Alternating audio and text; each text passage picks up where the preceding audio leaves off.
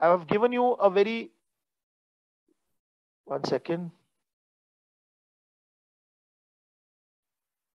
A very basic understanding of this floating and fixed.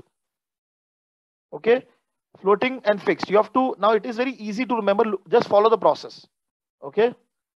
So first of all, when we say look back, what does that mean? Suppose we started the option over here and during, we, we are ending the option over here. During the entire period, during the maturity, the option is going to go up and down. The underlying asset is going to go up and down, right?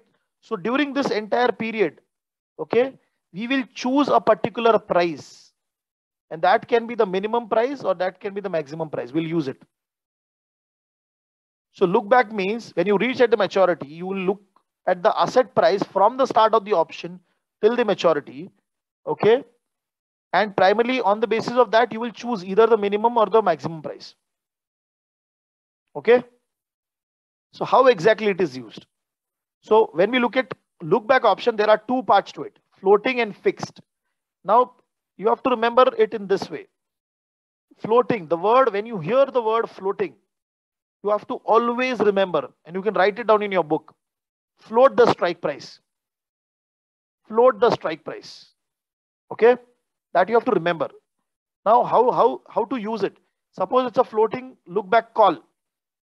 Floating look back call. What is the basic structure of call? ST, which is a, what is this ST? ST is the price of the asset at maturity right? And what is this K? K is nothing but the strike price. So this is a normal call option, right? The next is, so how for a floating look back call, you just remove this K and you take the minimum price of the asset during that period. From the start of the option to the maturity of the option, whatever was the asset price, whatever is the minimum price you are taking it.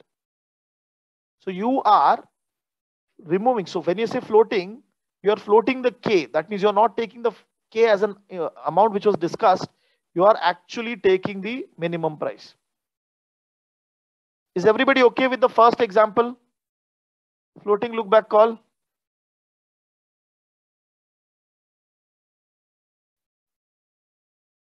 It can be 52 weeks. It can be any maturity. The next part. The next part. Second, look at the floating look back put. What is the basic structure of put? K minus ST. Right? What is ST? The price of the asset at maturity. Right? What is the K part? Okay, you are taking, you are not taking K, but what you are doing is you are simply taking the maximum price of that underlying asset during that period. All good? How do you remember? If you, now this is an example of call. Huh? Ideally, it should be ST minus K, float the strike price. Because it is a floating look back option. Right? Taking you towards the book. Now I want you guys to read from here till this point.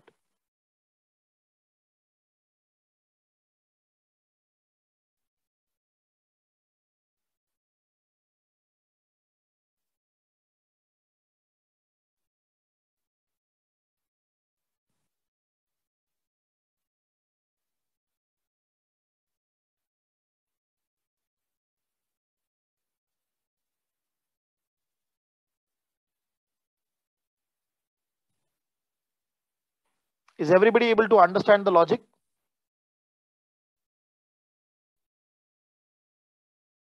The next part, floating, the floating look back call option and also read this. Sorry, I didn't mention this. Read this also because we talked about the put option also.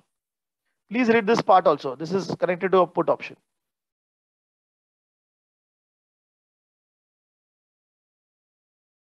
Right now in the call option, how can you remember?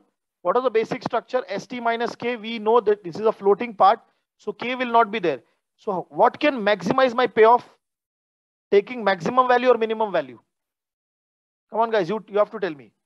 When it's a call option, taking maximum value or minimum value, which value will maximize my payoff? ST minus minimum, right? When I talk about put option, when I talk about put option, it has to be ideally K minus ST, but I cannot take K. So instead of K, what should I put? It will maximize my payoff, max, maximum price.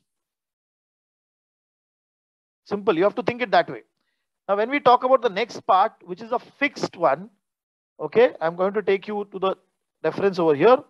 Now, see, from the word fixed look back means keep the K fixed, strike fix, and float what? ST. Float what? ST, okay? So the basic structure is same for a call, but instead of K, now we're going to float ST. And what will maximize your payoff? If I put maximum price over here, right? Same logic. Same logic. If we look at put option, K minus ST, but this is a fixed look back. So I will have to keep the strike price fixed and float what? ST. And if it's a put option, what will help me to maximize the entire payoff? By taking minimum price over here. Right? How do you remember this? Okay. Fix the strike and float the stock price. This is an example of call.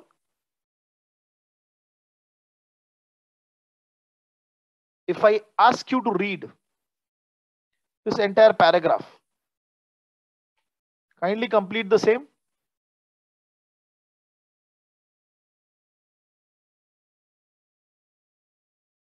You, your see please Monica please इसको रटो मत आप आप understand करिए basic concept को किसमें आपका payoff बढ़ेगा where the payoff is going to increase you have to think it that way i've i've made it very simple for you if it's a floating look back what is going to float strike if it's a fixed look back what is going to remain fixed strike so what will float st now whether you have to use minimum or maximum ask a very basic question what will maximize my payoff and use that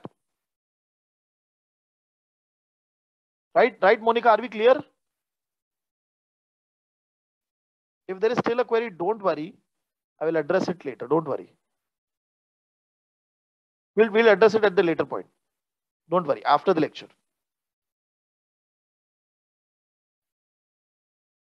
Read this entire paragraph.